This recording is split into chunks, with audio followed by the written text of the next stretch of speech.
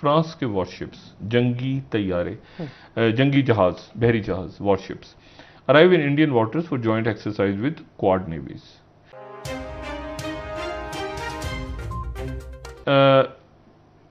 internal politics पे आते हैं ये पड़ोस में हमारे अ, बड़े इवेंट्स हो रहे हैं। हिंदुस्तान टाइम्स ये रिपोर्ट कर रहा है कि फ्रेंच वॉरशिप्स फ्रांस के वॉरशिप्स जंगी तैयारे जंगी जहाज़ बहरी जहाज़ warships arrive in Indian waters for joint exercise with Quad navies अच्छा और टाइम्स ऑफ़ इंडिया इसको इस तरह से बता रहा है कि India and US kick off exercise ahead of Quad plus France naval war games अच्छा कल से यानी आज इंडिया यूएस और उसके बाद कल से क्वाड प्लस फ्रांस यानी क्वाड के चार मुल्क और फ्रांस की दो दिन तक एक्सरसाइजेज जारी रहेंगी पाँच और सात तारीख को बह हिंद में बे बंगाल और ये जो पूरा इलाका। लेकिन यहाँ पर फ्रांस क्यों है? सवाल है कि फ्रांस यहाँ कैसे आ गया? देखिए अमेरिका का तो हमें पता है कि अमेरिका यहाँ क्यों है इंडिया यहाँ पे क्वाड कैसे बना है हमें पता है कि ऑस्ट्रेलिया यहाँ पे मौजूद है हमें पता है कि जापान यहाँ मौजूद है। लेकिन फ्रांस यहाँ पे क्यों है? फ्रांस जो है वो अ, उसने उसकी पूरी ये हम अपनी स्क्रीन पे भी दिखाते हैं कि France and security in the Indo Pacific France की एक मुकम्मल चंद रोज पहले उनकी एक रिपोर्ट आई है जिसमें वो अपनी इंडो पैसिफिक स्ट्रेटजी को कि फ्रांस ने यहाँ पे रहना है। फ्रांस ने इस खत्ते में रहना है। कहाँ फ्रांस कहाँ ये खत्ता? और उन्होंने पूरा ही बताया है कि हम इंडो पैसिफिक के अंदर रहेंगे और उसकी वजूहत हैं। ईयू के अंदर हो सकता है यूरोप के अंदर यानी जर्मनी भी आ जाए फ्यूचर में। लेकिन आप सोचेंगे कि जर्मनी का बहरे हिंद से क्या ताल्लुक है? ये तो अटलांटिक के अंदर।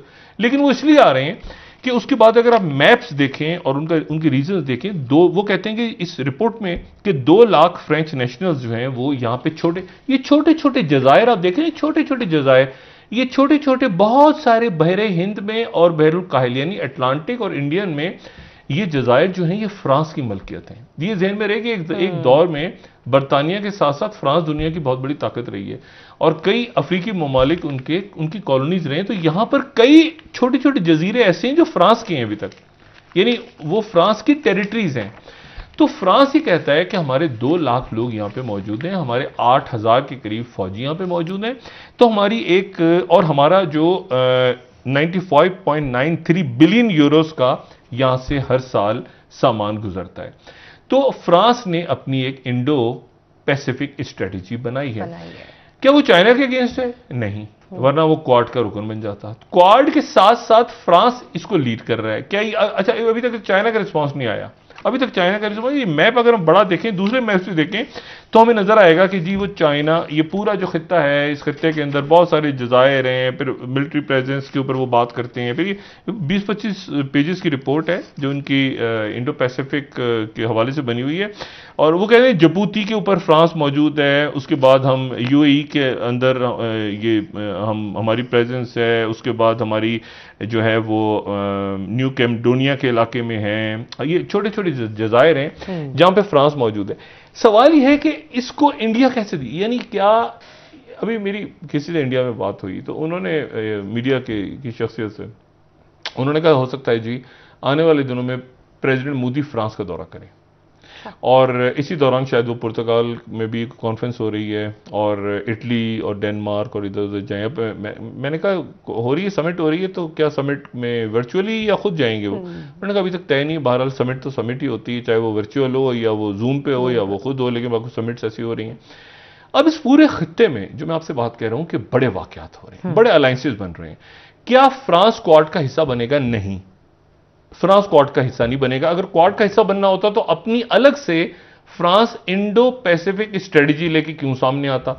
इनकी इंडो पैसिफिक स्ट्रेटजी मैंने आपको भी दिखाई अपनी स्क्रीन पे। ये इंडो पैसिफिक स्ट्रेटजी जो पूरी पड़ी है मेरे पास, मैं इसको कई दफ़ा इसको पढ़ भी चुका हूँ, इनकी इंडो पैसिफिक स्ट्रेटजी बिल्कुल मुख्तलिफ़ है उस स्ट्रेटजी से जो कि क्वाड की स्ट्रेटजी है या जो अमेरिका की स्ट्रेटजी है या जो जो बिल्कुल मुख्तलिफ़ है। इसका कोई किसी किस्म का तो ये सिर्फ़ फ्रांस अपनी मीशत की, अपने लोगों की और अपने जजायर की। इनका किसी जजीरे के साथ फड्डा नहीं है चाइना का। जैसे चाइना का फिलिपीन के ऊपर, चाइना की जो नाइन डैश लाइन है, उसके अंदर कहीं फिलिपीन है, कहीं साउथ कोरिया है, कहीं वियतनाम है, कहीं और मुल्क है।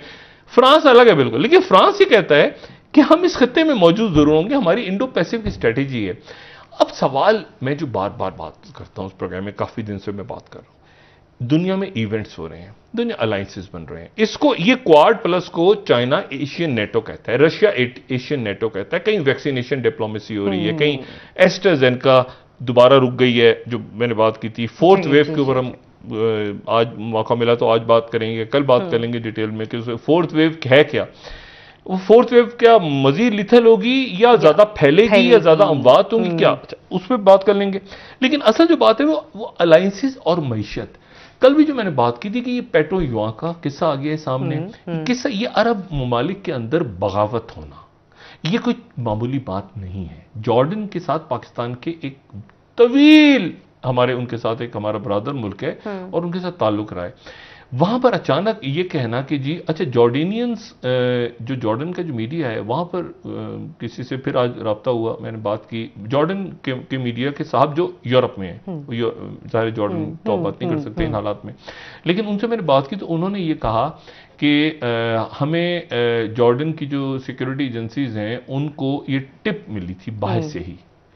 अच्छा अब बाहर के ही किसी मुल्क ने उनको टिप दी है कि तुम्हारे मुल्क में बगावत होने, होने वाली, वाली है।, है अच्छा इसको आप अर्दुगन के साथ अगर मिलाएँ अर्दुगन की जो बगावत अर्दुगन के अगेंस्ट हो रही थी और वो जो गुलाम मूवमेंट और सारी जी, जी, जी, तो जी. उसके बाद ये खबर सामने आई कि जो ये उर्दुगन कहते हैं हम्म। अमेरिका इसकी तरदीद करता है वो कहते हैं कि ये जो मेरे खिलाफ बगावत हो रही थी इसको अमेरिका सीआईए सपोर्ट कर रही थी और हम्म। रशिया ने मुझे हमें टिप दी टर्की को जिसकी वजह से रशिया और टर्की करीब आ गए अब सवाल यह है कि जॉर्डन की इस बगावत के पीछे कौन था क्या कोई खत्ते का मुल्क था? खत्ते का मुल्क क्यों था? क्या वजह बनती है? जॉर्डन तो बहुत दोस्त है बहुत ज़बरदस्त मुल्क है हर एक का दोस्त है और वो माशी तौर पे डिपेंडेंट है कमज़ोर है क्योंकि उनके पास ऑयल नहीं है और कोविड वहाँ बहुत फैला है और इतना अजीब सा लगता है कि बिल्कुल साथ इसराइल है और इसराइल के साथ चूँकि उनके ताल्लुक अच्छे नहीं जा रहे इन दिनों तो इसराइल ने अपनी वैक्सीन उनको नहीं दी। और जिस फ्रेंड्स अपना हिंदुस्तान न्यूज़ में आपका स्वागत है। पाकिस्तानी मीडिया चौबीस घंटे टेंशन में रहती है। जब भी उसे ऐसा लगता है कि भारत की ताकत बढ़ती जा रही है पाकिस्तानी मीडिया की टांगे कांपने लगती है और पसीने आने लगते हैं। अब एक और खबर से पाकिस्तान मीडिया आज परेशान है। अब उन्हें ये पता चला कि फ्रांस अपनी वॉरशिप लेके इंडिया आ रहा है। क्वाड के साथ ज्वाइंट एक्सरसाइज करने के लिए उससे पाकिस्तानी मीडिया की रातों की नींद उड़ी हुई है। कभी तो कहते हैं कि दुनिया में इंडिया की कोई वैल्यू नहीं रही, कोई इंडिया के साथ काम करना नहीं चाहता और कभी इंडिया की ताकत देख के एकदम से परेशान हो जाते हैं। इससे पता चलता है पाकिस्तानी मेंटेलिटी क्या है। ये एक सेकंड में तो रॉकेट की तरह ऊपर चले जाते हैं और दो मिनट में ही फुस हो जाते हैं। इससे पता चलता है पाकिस्तान के अंदर कोई गहराई नहीं है। ये एक बस ख्याली पुलाव बनाने वाला मुल्क है और इसकी मीडिया भी वहाँ पर ऐसे ही काम करती है। इंडिया सुपर पावर बनता जा रहा है जिसकी वजह से पाकिस्तान को टेंशन बढ़ती जा रही है। और ये सच है, पाकिस्तान अपना सर शतुरमुर्ग की तरह अगर रेत में दबाए रहेगा, उससे दुनिया नहीं बदल जाती। इनको भी एक ना एक दिन तस्लीम करना पड़ेगा कि भारत एक सुपर पावर बनने वाला है।